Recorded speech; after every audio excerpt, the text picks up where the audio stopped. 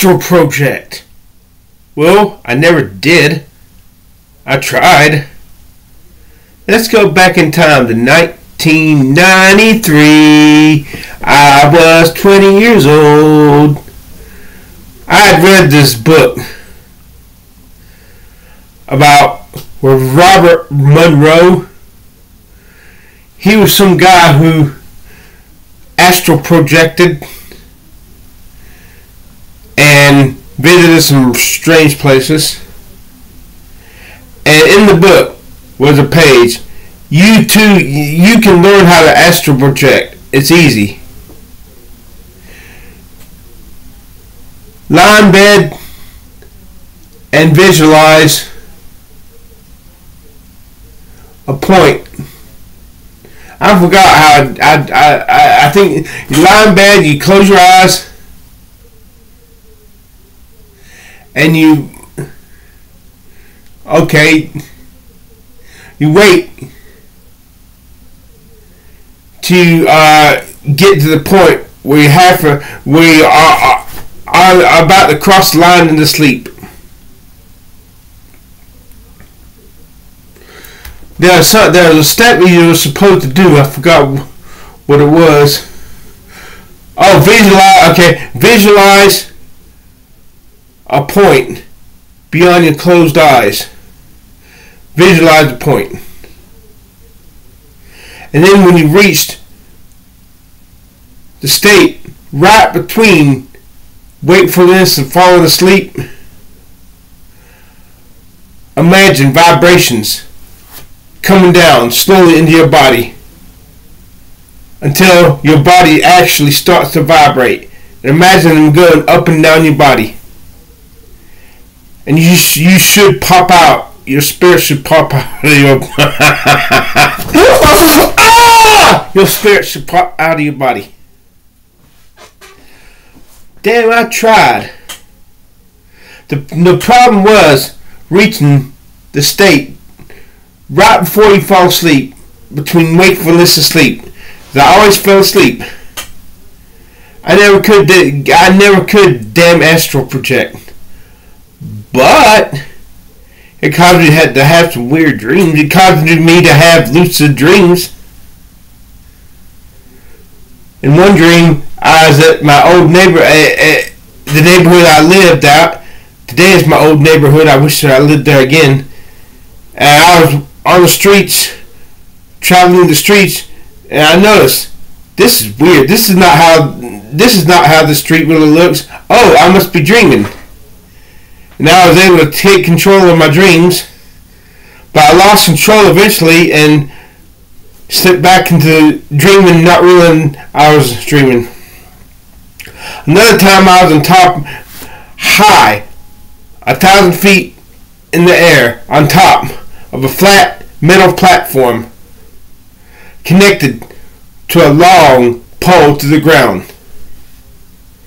There was no way to get down it suddenly occurred to me, how did I get up here? How did I get up here in the first place? Oh, I'm dreaming. So I I I caused the I caused everything I was on the, the platform I was on, the pole, wherever I was, started to fade away. I started to control my dreams. Damn, I wish I could remember what I was doing. Another dream I had, I was flying in figure eights in, front, in my front yard. And in another dream, I was at Blockbuster Video looking at a horror movie box. You know, they had the boxes, those movies came in, the flat, the, the boxes, and on it was a horrific monster with three heads. And all of a sudden, I was this monster. I was drowning a person, a victim, in a sea.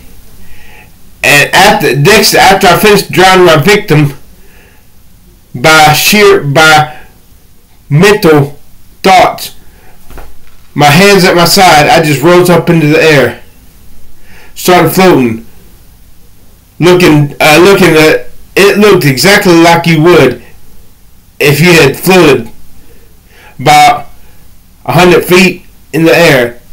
Oh, it was awesome.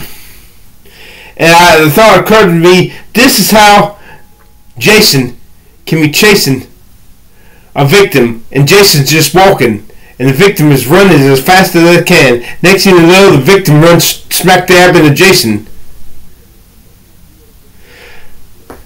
So I never did get the astral project, but I tried. Interesting enough, uh, a month or two later, my grandma was driving me to visit my cousin Ann, my uncle David, my aunt Diem. No, I don't know if Aunt Diem. No, Aunt Diem was a lot living there, and we're just talking. I never mentioned this, this to anybody that I was trying to astral project. I remember I'd go to bed thinking to myself, I'm an astral, I'm an astral project. I damn, I never could. Reaching that, reaching that point right before I fall asleep without actually falling asleep, I could never do it. But all of a sudden, out of nowhere, out of the blue, we and just Brian Grandma were just talking about everything, anything, random shit.